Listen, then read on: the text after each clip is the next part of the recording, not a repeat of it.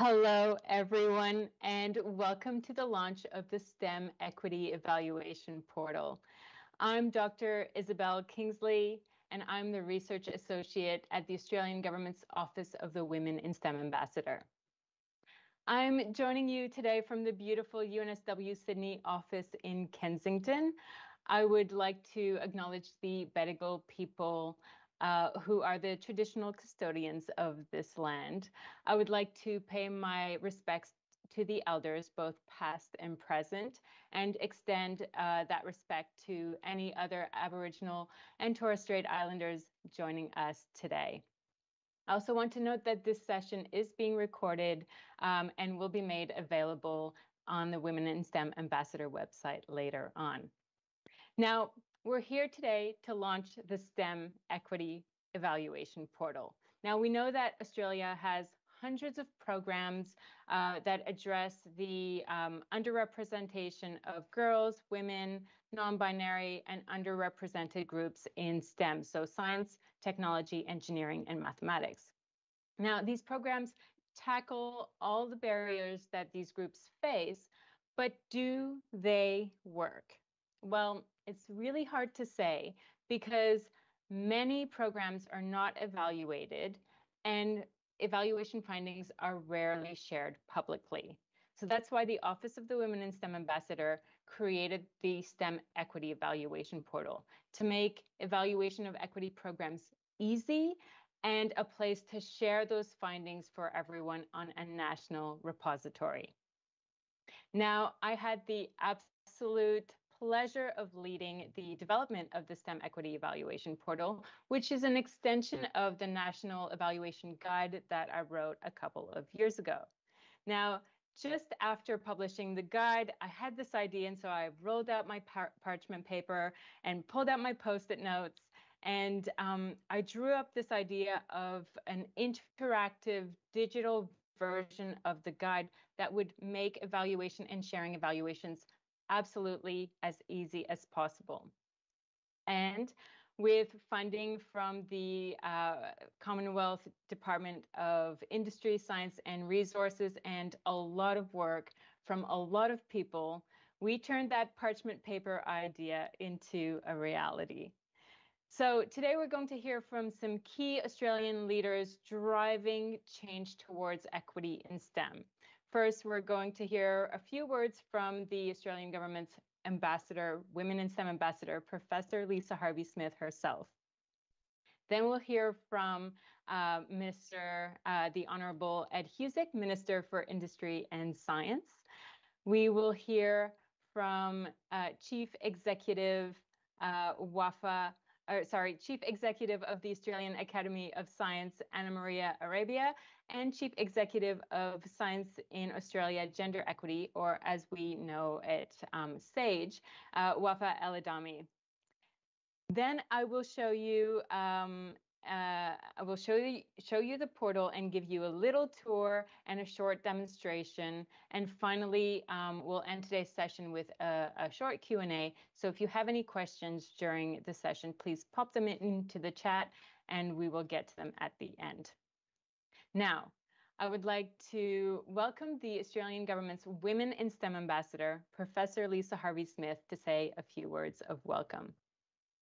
Thank you. Thank you so much, Isabelle. And uh, hello, everyone. Thanks so much for joining us. Um, I first want to acknowledge the traditional custodians and owners of the land on which I'm joining you today uh, from Muwinina country, the Muwinina people. And I'd like to pay my respects to their elders, past and present. Now, it's my job to increase the participation of women and girls in STEM across Australia, not a small task. Um, but I was proud to see the recent government figures from the STEM equity monitor showing that the number of women in STEM qualified workforces increased by 34% between 2018 and 2021. Now, that's a huge achievement for all of us who work on this problem.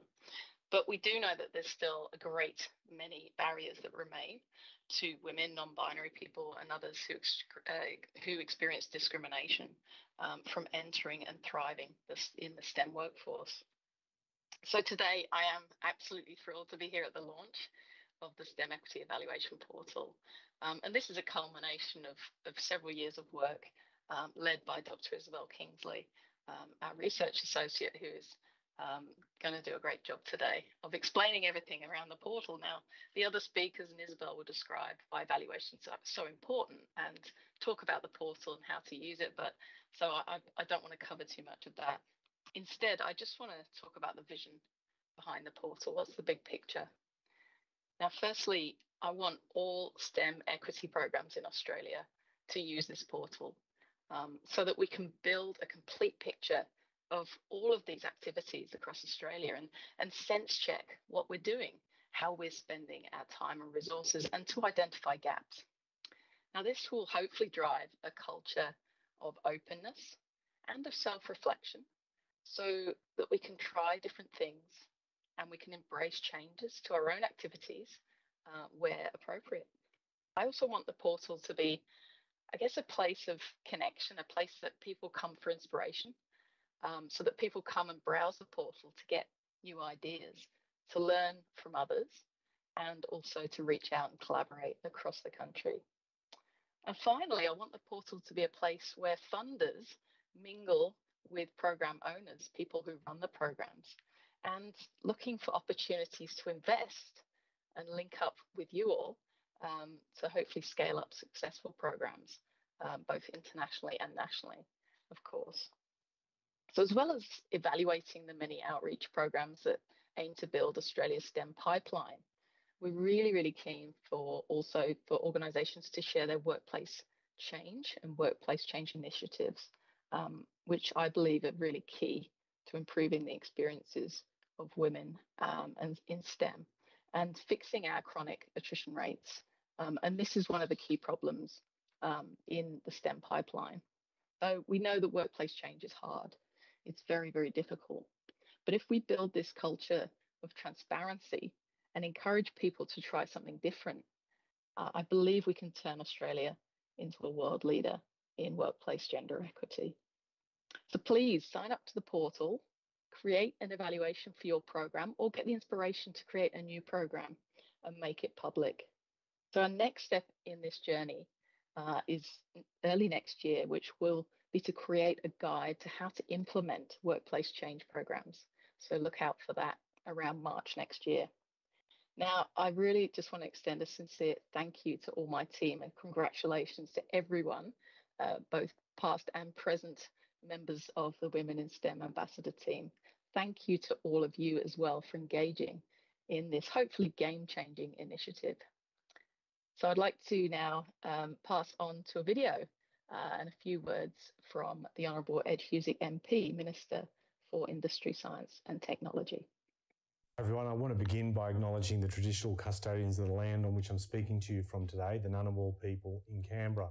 As we consider the human aspects of technology, it's worth reflecting on the role that knowledge and science played in First Nations societies before colonisation and how First Nations people have retained custodianship of that knowledge against great odds and facing great hardship. We owe them a debt of gratitude, and I'd like to pay my respects to any First Nations people in the audience today.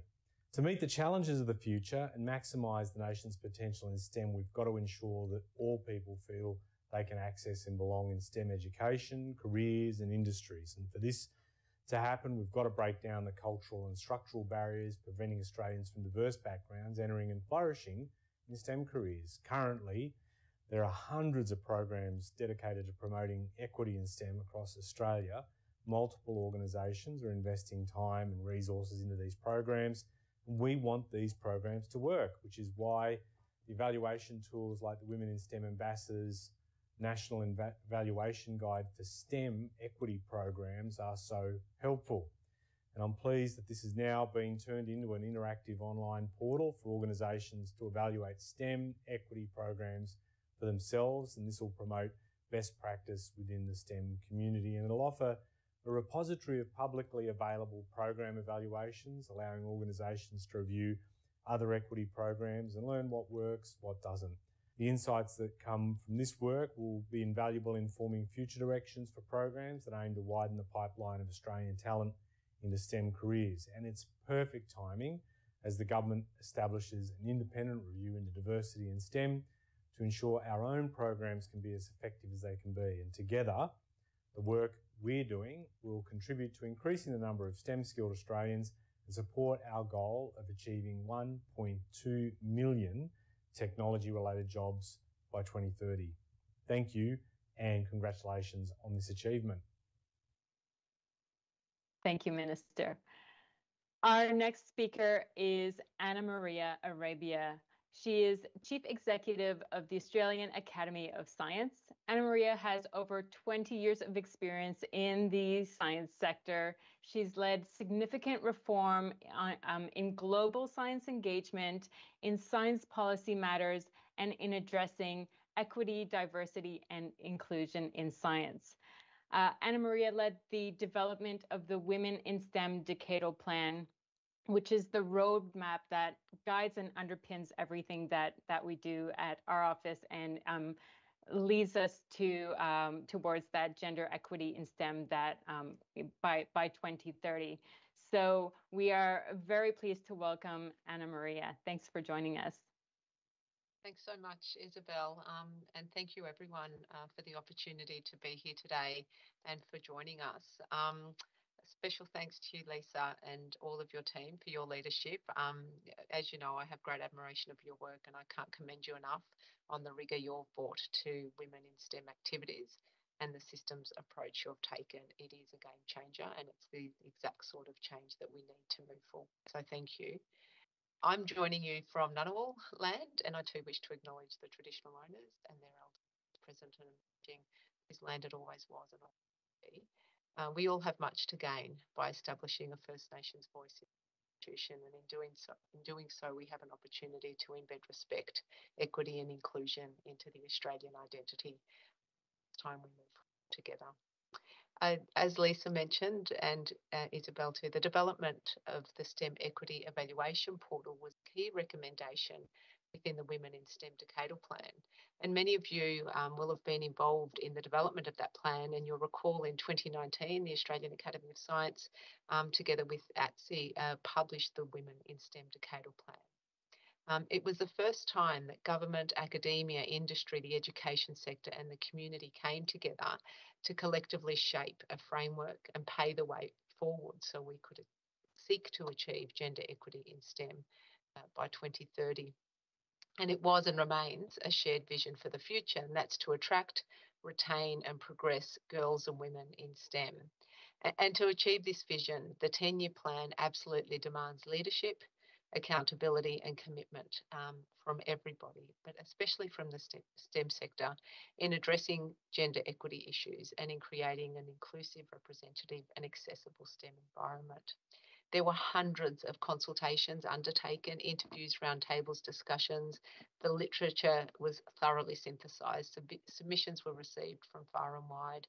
And from this emerged six key opportunities, of which I'll focus on two today. One was around leadership and cohesion, and the second on evaluation. And that's the one I'll focus um, of course, each of those six opportunities are important, as are all the actions taken to achieve its vision. But without evaluation of our activities, it's almost impossible to determine which initiatives are effective, which should be extended or scaled up, and which should be stopped. In other words, underpinning the success of all of the opportunities in the decadal plan is the need to evaluate. Without it, we act blindly and we cannot take an evidence informed approach. At the time of the publication of the Decadal Plan, we found that of the 330 gender equity initiatives uh, that we were able to identify, only three had publicly available evaluation findings. We had been acting blindly. And yet, the need to get this right, to harness and value all of the available talent across our nation, is greater than ever before. The demand for, for a STEM skill workforce uh, to power our industries uh, and our economy is escalating and showing absolutely no sign of slowing down. And the need remains to dismantle the myriad systemic barriers and, cult- and cultures faced by women and girls, uh, which result in their underrepresentation across the depth and breadth of STEM disciplines and careers. underrepresentation and underutilisation of the workforce are threats to Australia's prosperity. I've heard this time and time again, especially most recently. Uh, so there's a lot of work to be done. Our stated aspiration in 2019 was that Australia lead the world in the use of evidence informed activities and policy settings to support a diverse and inclusive STEM ecosystem. But as I said earlier, in 2019, the majority of gender equity programs in STEM lacked useful performance data and formal evaluation. Not only was an evaluation framework needed, which now exists thanks to the work of Lisa and her whole team, it was um, created in 2020, but so was leadership from the government and other funders by requiring adoption of it as a condition of funding. Today, if you apply for a Women in STEM grant offered by the Australian Government, you are required to develop an evaluation framework as a condition of funding. This sort of systemic change must be applauded and applauded loudly. It represents a paradigm shift in the culture of evaluation, and we know it works. The benefits of embedding evaluation have been abundantly demonstrated in activities and national programs such as SAGE, and we'll hear more from Wafa in a moment. Um, but I remember SAGE, way back in its pilot phase, demonstrated how valuable taking an evidence informed, data driven approach was. And today we know evaluation is at the core of this successful accreditation framework which is utilised by some 43 SAGE members across the higher education and research sector. Practices such as this directly enable activities to be measured, to be refined and improved based on evaluation data, and they have led to positive systemic changes that remain embedded across the sector for the long term. Building on this today, we so warmly welcome the STEM Equity Evaluation Portal, it's a place where you can find tools to support your equity actions and a repository of evaluations of activities undertaken by us. It builds on the fundamental work of Lisa and her team, who developed the National Evaluation Guide that allows you to create an evaluation plan for your gender equity activities and report on findings. Lisa, I don't know about you, but when I look at all three of the recommendations in the evaluation opportunity in the Women in STEM Decadal Plan, all three in that section are done. One, co design a national evaluation framework that enables project level evaluation, done. Two, organisations such as government should support evaluation as part of funding, done. It now needs to go to every other government department, but we'll get there. Three, programs should be published and collated, including evaluation data in a national repository su- supported by government to inform decision making about what works and what should be scaled up or funded across it. Done. Tick, tick, tick. If we were in a live launch today, we'd be pausing, possibly even standing to applaud. So I think we, we should um, give a virtual applause for those three extraordinary achievements. Um, the evaluation practice and data in the STEM equity portal provides such rich assets to inform works to attract, retain, and progress girls and women. And importantly, both the National Evaluation Guide and the portal create a culture of evidence informed practice and allow us to compare apples with apples. Evaluation data acro- across projects is most useful when it's comparable. And of course, developing this culture of evaluation is not just collecting data, it has to be published. You need the transparency piece. Transparency does not mean hanging dirty washing on the line when programs don't have the desired impact. Rather, it informs our future and stops ongoing spending on activities that do not have a measurable impact and may not achieve the desired gender equity goals, and it enables that funding to be redirected elsewhere. Public reporting evaluation data helps us improve awareness of actions that do work. It helps us find gaps so we know what else needs to be done or what can be done. And it allows like minded organisations to forge collaborations so that we can amplify our progress. 2030 is approaching way too fast. The research informing the Women in STEM Decadal Plan showed us that the lack of cohesion and the small scale programs were major barriers to achieving better outcomes for girls in STEM. We've been spread too thin, compromised impact, and missed opportunities to work together. But I'm so pleased and so proud that the National Evaluation Guide and the portal give us the tools to do things differently and to move forward in an evidence informed can I please extend my congratulations to Lisa, Isabelle, and your entire team for this remarkable achievement, for your leadership, your commitment, and your ability uh, to bring about uh, systemic and sustained change to improve the lives of girls and women. Thank you for your effort. Thank you. Thank you very much, Anna Maria, for your kind words. Um, that that means a lot. Thank you very much. Uh, our next speaker is Dr. Wafa El-Adhami. She is the Chief Executive of Science in Australia Gender Equity Limited, or as many of us know it, SAGE. Now, Wafa led the successful implementation of the SAGE pilot over four years and oversaw its expansion and its um, recent incorporation into a non for profit company. So, congratulations, Wafa, and welcome.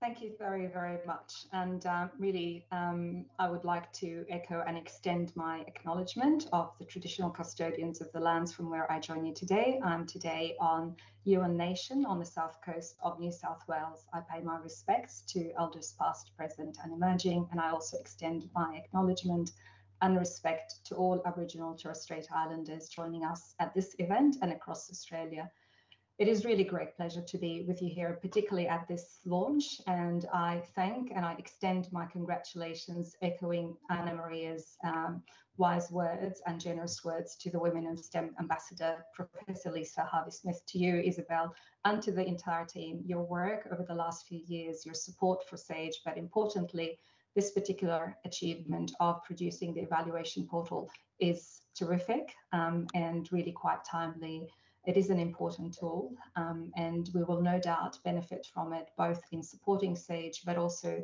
our accredited institutions. And it will continue to deliver a transformative change and guide transformative change locally, nationally, as well as internationally. So Australia is really demonstrating uh, strong leadership in this space as it has done so with SAGE and driving other countries to you know, adapt the approach. Um, what I will do today is talk a little bit about the uh, SAGE experience and insights, particularly in the context of why evaluation is important. You've heard um, from Anna Maria how that has been really embedded right into the very beginning uh, of SAGE during the pilot. Um, but more importantly, really how transformative systems like SAGE are really important uh, particularly with the inherent characteristics that make them so effective and successful as systems approaches. They firstly apply a systematic and iterative scientific approach, relying on the data, the evidence, and root cause analysis methodology to help us understand the what and the why of barriers, inequities, or issues and importantly, then help facilitate how we design and improve um, on these inequities and remove them from workplaces or any other um, environments or settings. I think the most um, important aspect as well, and second complementary characteristic, is that systemic um, and transformative systems integrate evaluation and measurement of outcomes and impact right at the outset but they importantly underpin um, this approach by robust governance and transparency. What that means is that you've got accountability embedded right through the whole journey um, to transformation and to change. So, um, from the very beginning of the SAGE uh, initiative as a pilot and ongoing, evaluations were always planned and actioned, and the program continues to be regularly evaluated what the evaluations have really helped us with um, are reflected in the so many improvements. Um, first and foremost, they continue to assure that SAGE accreditation is and remains fit for purpose for Australia. It is responsive to the sector's needs and it achieves the program's objectives. It would not have helped us if we were to pick up Athena Swan as it is, which is the core element of SAGE accreditation from the UK and just deliver it here as it was delivered in the UK in its own structure, in its own approach. It has also informed us in continuously improving the rigor of the SAGE accreditation. whilst continuing to reduce its complexity and administrative burden. It's been invaluable in informing good practices for measuring outcomes and impact, particularly for gender equity, diversity, and inclusion. And equally importantly, it is guiding the design of a sustainable data-driven systems approach that is going to continue to deliver practical, effective, and transformational change for the sector. I think one of the most insightful experiences and learnings from SAGE is that evaluation of SAGE um, has not only served its purposes to be the most powerful diagnostic and change making tool for gender equity, diversity, and inclusion, but by using SAGE accreditation, institutions have also greatly improved their own understanding of the inequities and the barriers that exist in their workplaces, whether it's at the recruitment, at the retention, or the progression, or across the culture itself. This in turn has really helped them in designing better actions so they are able to remove and or reduce the inequities and the barriers within their organizations. Equally, by integrating evaluation into the SAGE approach, institutions are also better equipped to define the outcomes and the impact measures for the suite of actions they have designed and are implementing. We've learned a good lesson. If you set out to implement a policy, a program, or initiative, you need to really think about um, the outcomes and the objectives and what are the suitable measures or metrics you're going to evaluate that with. Now, I think what we've heard from Anna Maria and what we've heard the vision from Lisa today, these are exactly the important elements about making sure that interventions for gender equity, diversity, and inclusion really serve the Australian community and our workforce. So by doing this approach, you're able to better monitor and better measure the outcomes and impact and these actions themselves can really help glean insight why they work, why are they effective, but also learning why are they not effective and how to improve them. One of the other valuable and important aspects of the evaluation in the context of SAGE accreditation, and this was also identified in the Women in STEM Decadal Plan, is the integration of an intersectional approach. Both Anna Maria and Lisa spoke earlier, um, touching on this point. Um, intersectionality and intersectional approaches are absolutely fundamental in equity, diversity, and inclusion work, and particularly for improving the workforce itself. They are also actually quite important in many other applications. Um, healthcare, consumer products, all really do this well. If you don't release a product on the market or you can't serve a particular population with um, important diseases and conditions without understanding the intersecting factors that really affect their health or health outcomes. So if we don't acknowledge and understand within group differences, an initiative that is aimed at women, for example, only addresses the needs of some women. The evidence for this is strong. For example, recent work by Professor Michelle Ryan of the Global Institute of Women's Leadership found that Black women wanted EDI initiatives that explicitly incorporate intersectional differences. Asian women, on the other hand, wanted ways to deal with other challenging their authorities. White women were concerned about being seen as too assertive or not assertive enough. But when you look at what is happening in interventions, most organization um, gender equity initiatives focused on networking, work-life balance, and helping women to be more confident or assertive suggesting that the existing initiatives or interventions don't necessarily serve the needs of Black and Asian women very well. And more and more, we're seeing mounting evidence of the importance of taking an intersectional approach to how we understand and evaluate programs and initiatives, but also how we design and co design solutions to serve different communities and different groups within communities. So, as we've heard from both um, Lisa and Anna Maria, it is evident from the SAGE experience that the more evidence we have about what actions work, why they work, and how, the better we are informed on translating them across different settings. And then more rapidly, we can achieve gender equity by investing in the right interventions or indeed in fine tuning interventions based on such learnings. But enabling this requires the transparency and access to the evidence base. We know, for example, that SAGE contributes um, by publishing accreditation applications and evaluations of institutional gender equity. And that's a credit to the community that right at the outset um, demonstrated leadership including through the leadership of the academies that founded SAGE, that all of that evidence will be published, will be made available, irrespective of the outcomes of accreditation. And this really brings me to the value of the evaluation portal, which by its design embeds evaluations, delivers an invaluable, accessible, and importantly, an evaluated set of resources. I see it like clinical trial registries in medicine. The portal has the power now to act as an evidence bank where organizations, practitioners, and change managers can certainly access solutions, can learn from existing practices, can collaborate with each other, and thus can amplify the collective impact we all input towards. So to close and bring this all together, the combination of evaluation, data-driven insight, and transparency is powerful um, much as the portal will be powerful because what they will deliver is that they will reveal in rich detail the barriers and the issues that face gender equity, diversity, and inclusion in organization, uh, whether they are at a local level or whether they are commonly shared across organizations. They will also help inform the design of targeted as well as context specific actions, and also importantly, common solutions that can be concurrently implemented across the whole of the system. They codify the learnings um, and they can guide improvements. Um, they will facilitate and encourage the knowledge sharing, um, the vision of Lisa and the vision of Anna Maria and the vision of the government and all of us. Um, and so we are able to knowledge share and also translate that knowledge.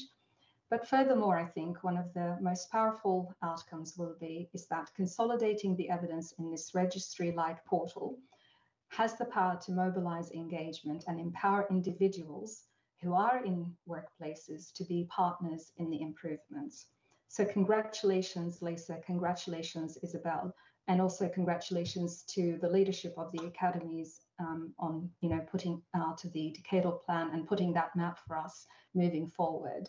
Um, SAGE has been capably and ably supported by Lisa, by Anna Maria, by Isabelle, and um, we have collectively really seen the advantages of the work of the Women in STEM Ambassador and her advocacy and her office's support throughout.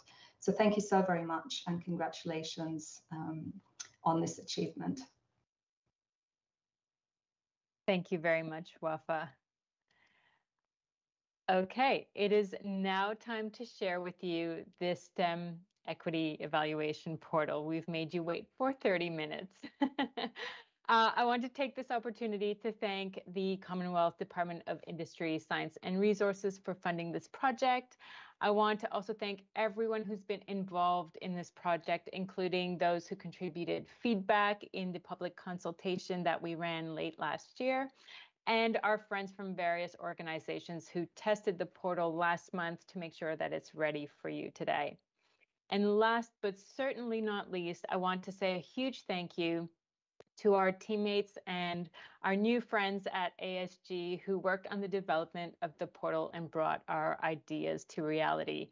I specifically want to thank the development team, these four wonderful people that you see right now, Arjun kept everything on track and ticking smoothly. Tony took my wild and messy ideas and created the the engine behind the portal. Um, Mark worked his magic and created a really user-friendly portal machine.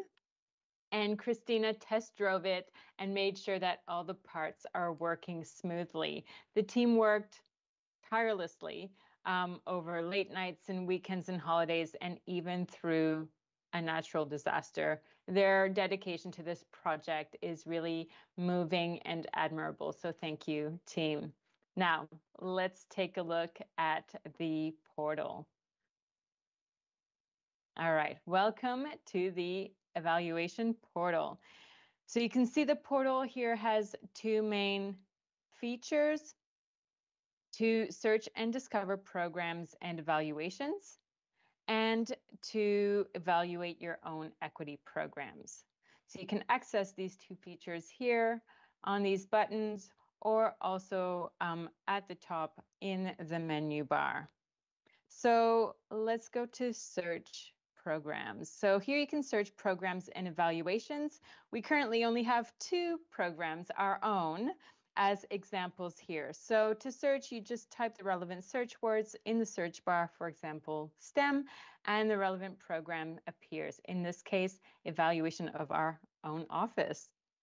You can filter using the available options. For example, you can filter by audience type and the evaluations containing those audiences will appear. So um, in this case, again, it will be um, the Women in STEM Ambassador uh, initiatives. Then you can bookmark or you can view your search results. Um, here you can see the program description, the audiences, the outcomes of the program, the intended outcomes indicators. If you want more detail, you can go in and read the full evaluation and everything is there for you to view, all of the details. Um, you can also connect with the people running a program by contacting them via email by clicking on the uh, contact us button right under their profile photo. Now, the next feature is to evaluate your own program. So you just come up and click on the top menu item here.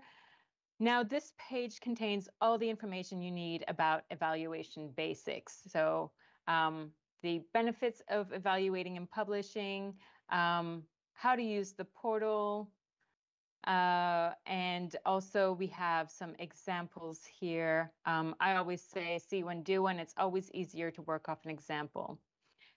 To start evaluating your program, you just click here. Um, you need to create a user profile. I already have one, so I will just log in.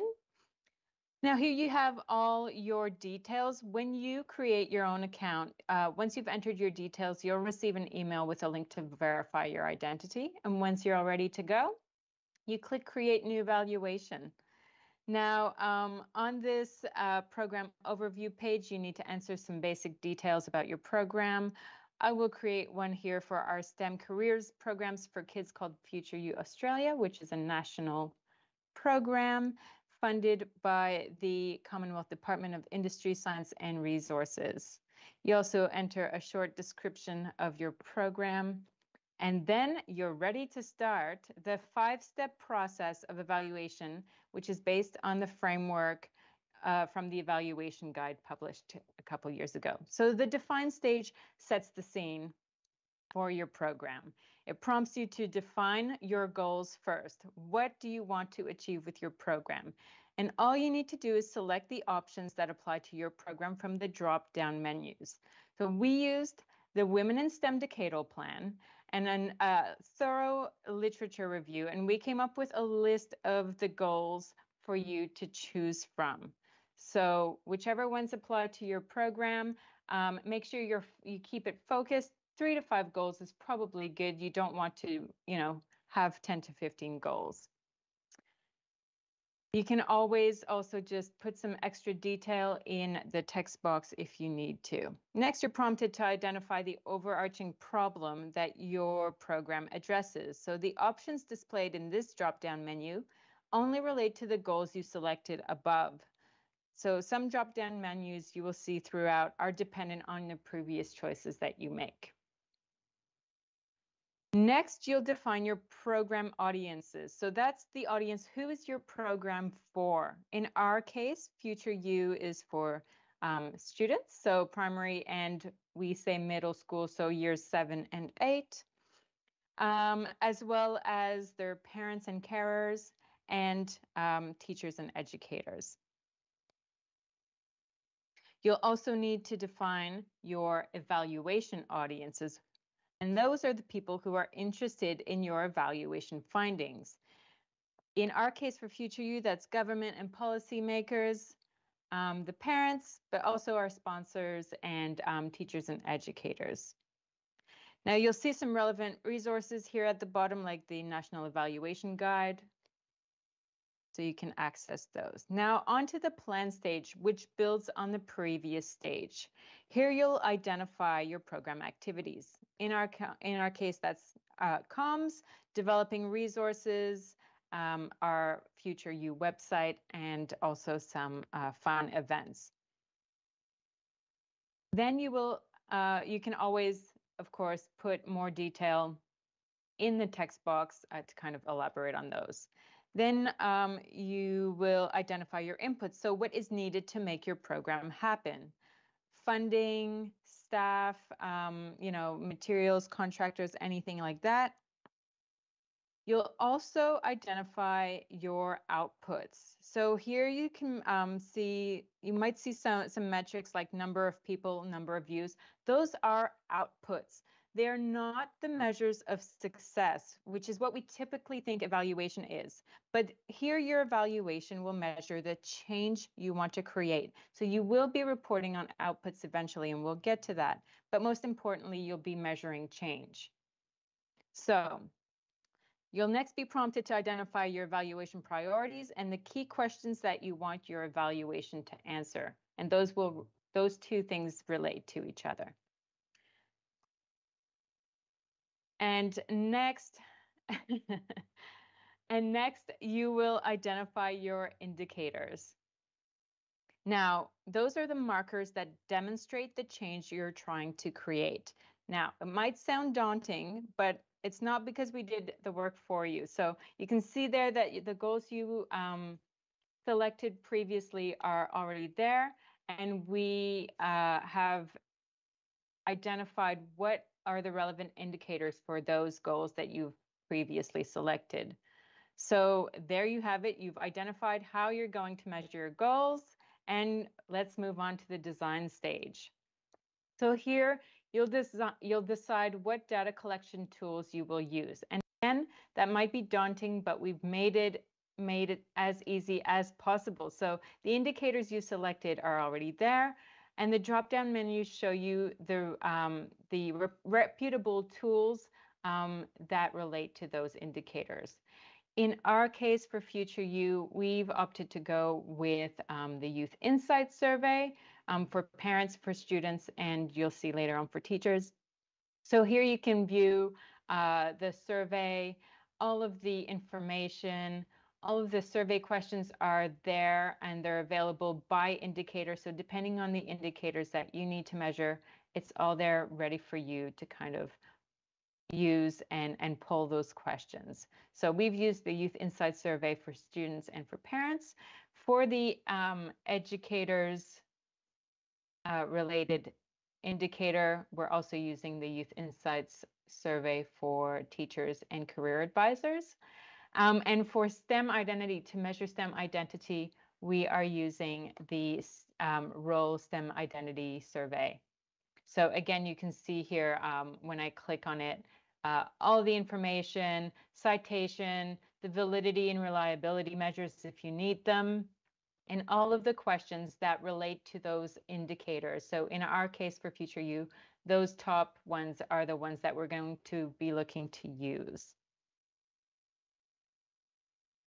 So now that you have your data collection measures,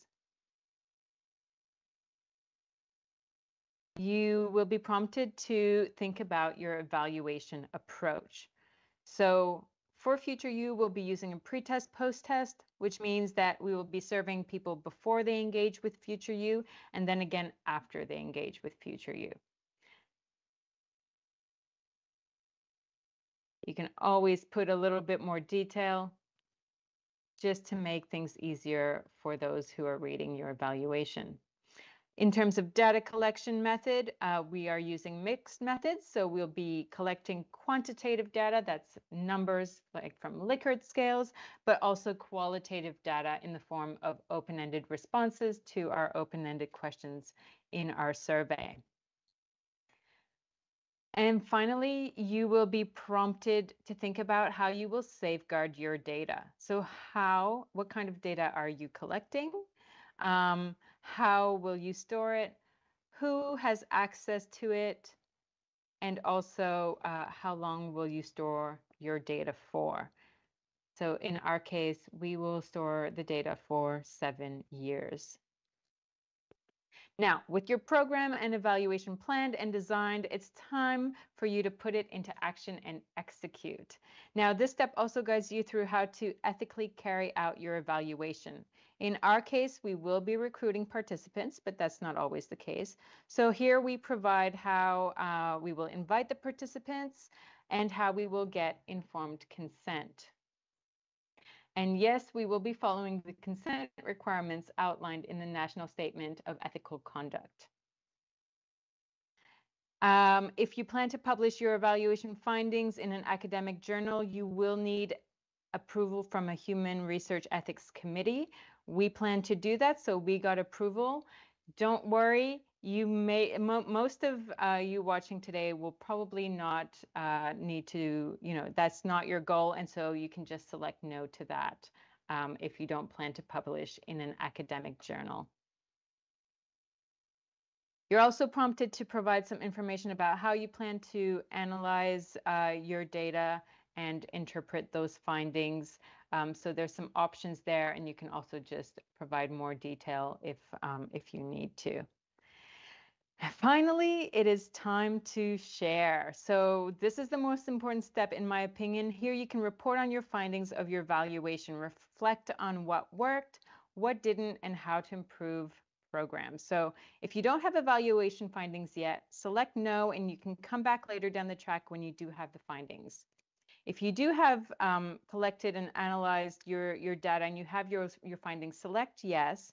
You'll be prompted to complete the reporting section, fill out the key findings for each of the indicators that you selected in the plan stage, um, provide details on those program outputs, so those, those numbers that we spoke about earlier, but more importantly, the outcomes for each indicator, um, intended, unintended benefits and consequences, lessons learned, recommendations, it's all there.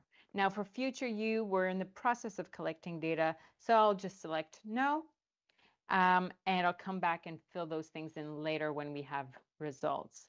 You can upload any supplementary materials to include in your evaluation, like survey questions. Um, if you're finished your evaluation and your organization produced a nice shiny formal report, you can upload it here. You can export a PDF of your evaluation to keep in your files or share with others. So there's the PDF, there's everything that I've just filled in, um, and I can save that to my computer. And then you can publish your evaluation on the portal for others to learn from. Even if you don't have evaluation findings yet, which is the case here, you can publish your evaluation plan on the portal. This way, people can find your program, learn about what you're doing, how you're measuring your goals. It just brings that accountability and visibility and transparency that we've been talking about to your program, even if it's not complete yet. Your evaluations will then be on your dashboard. Um, you can unpublish or edit them at any point if you need. You can add collaborators who will work on these evaluations with you. Um, so I'll add my colleague Becky to this evaluation. And uh, then if you take a look at who is scrolled down and um, you can see that Becky has been added to my team as well. And that always just depends on, you can add different people to different evaluations. we go back to the search feature, you can see that Future You Australia is there published for everyone to see. It's displayed as in progress to indicate that we are still working on it. Um, and there you have it, the portal, a simple tool to help us evaluate and share our findings. So I know that that was a very quick um, tour and demonstration. Now I invite some questions from uh, everyone who is here today. Now let me just see. I know that my wonderful colleague Becky has been sending me questions. So the first question we have here is, Many programs use vanity metrics such as social media reach, number of people spoken to when um, talking to a large audiences, etc. These vanity metrics, whilst they look good on stakeholder reports with big numbers, don't tell the story of impact behavioral change, etc. Does the portal preference quality data over vanity metrics?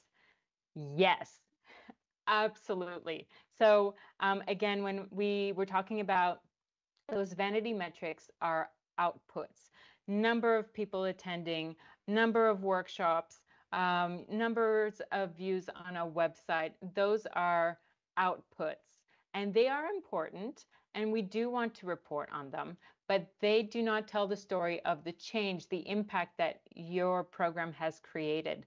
And um, as you can probably see from the demonstration I just gave, the evaluation portal absolutely focuses on the change you intend to create, how you measure those specific goals, those changes that you want to see, and then reporting on those specific indicators.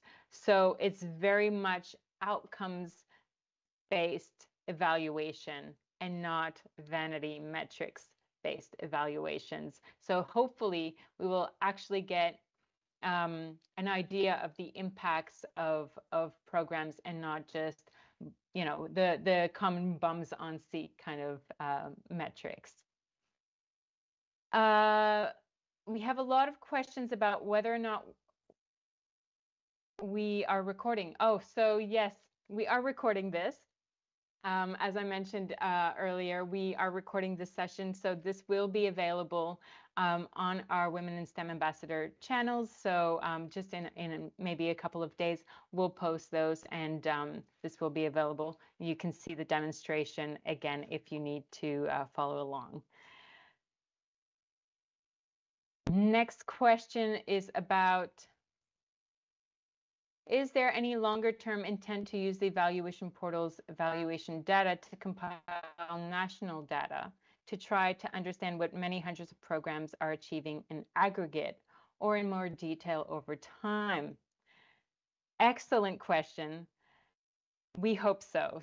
Um, so we absolutely would love to do that. And this is, um, I mean, this is obviously ready to go, ready to use but it will continuously improve. We will continuously try to um, work and expand this um, this resource. And one of the things that we definitely want to do is uh, create, as, you know, compile the, those national data uh, in aggregate so that we understand, you know, what is the collective impact of these programs. But Another uh, resource that does that beautifully and already exists is the Department of Industry um, has the STEM Equity Monitor. So the STEM Equity Monitor collects national data and compiles it into one place. Um, and it looks at four main categories. So school data, um, tertiary, so higher education data, uh, the translation from education to workplace, which they call graduate outcomes, and workforce data. So everything is there, and that's really our um, our tracker. You know, that's where we can go to see if that dial is shifting towards uh, closer towards equity. So that already exists, but we hope that the portal can kind of be integrated into that kind of measure like the STEM equity monitor. Um, just wondering if we would need ethics approval from our university prior to using this tool. So great question. Um, if you plan to, so I actually um, spoke to, so we're at the University of New South Wales, and I spoke to the ethics committee there about how, um, like the need for ethics. So um, they basically said that if you are planning to uh, publish your findings in an academic journal, you absolutely need to have ethics approval. If you're not in a university, that's a little bit trickier. Uh, so maybe you can partner with a university that's doing something similar so that you can um, get that ethics approval. But if you're just evaluating and you don't plan on actually publishing this in an academic journal, then you do not need ethics approval. So that's the recommendation that I've been giving from um, from our university. It's always good to double check with your own university wherever you are, just to make sure. But uh, usually, if it's just for evaluation purposes and not for academic publication, you don't need human ethics approval. Uh, so we are very close to uh, the end of our session. I think I've got Time for one more question. And they're quite long. Who will have access to evaluation tools? In some cases, there are sensitive questions, either in the surveys or interviews. If a family member or partner knows a woman participates in a survey knows, yes, okay. So there are some sensitivities to um, to some of these data. Uh, as uh, so you don't have to you don't have to share your evaluation questions, your survey questions if you don't want to, or if it's sensitive, you can you can keep that um, uh, private. Uh, also, in the share stage where you saw um, down that we have the capability, the feature to download a PDF and to um, publish to the repository you can there are toggles that you can turn on and off for visibility. So if there's anything in your evaluation in one of the sections that's uh, um, sensitive you can turn that off and what it will do is it will publish everything except for those those parts and it will just say these these are not available um, publicly so we absolutely understand that, you know, there are some sensitivities, there are some sensitive questions, there's sensitive data, um, there may be some sensitive findings. And so um, you kind of have that control of what you publish publicly or not. All right. So this takes us to the end of our session today. I want to end by thanking our uh, the Honorable Ed Husic MP, Minister for Industry and Science, Anna Maria Arabia, um, Wafa Adhami, and Lisa, Professor Lisa Harvey-Smith. Thank you so much for joining us. Thank you to the Commonwealth Department of Industry, um, Science and Resources for funding this project, our friends and colleagues at ASG, and everyone who has been involved in creating the portal. And finally, thank you for joining us today for the launch. I encourage you to visit uh, the portal evaluation.womeninstem.org.au. Uh, visit the portal, create an account, build your evaluation, and publish it. If we're going to create change, then we need to know if our actions are working. So thank you for joining us, and I look forward to seeing your evaluation on the portal.